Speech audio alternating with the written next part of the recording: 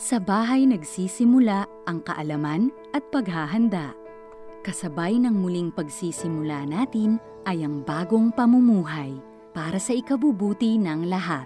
Huwag kalimutan na tuwing aalis ng bahay, magdala ng alcohol o sanitizer. Magsuot ng face mask kapag kinakailangan. Sundin ang mga panuntunan ng pampublikong sasakyan, lalo na ang physical distancing. Sumunod sa safety measures na pinatutupad ng pinagtatrabahuhan. Mag-disinfect ng mga gamit bago magsimula ng trabaho.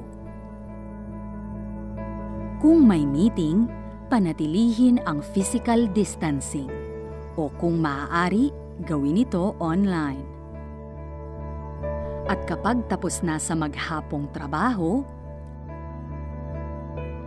siguraduhing malinis ang lahat para makaiwas sa sakit.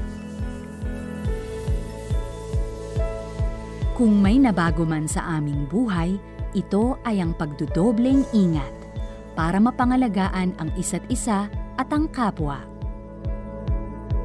Dahil ang natutunan sa bahay ay sandata para sa new normal.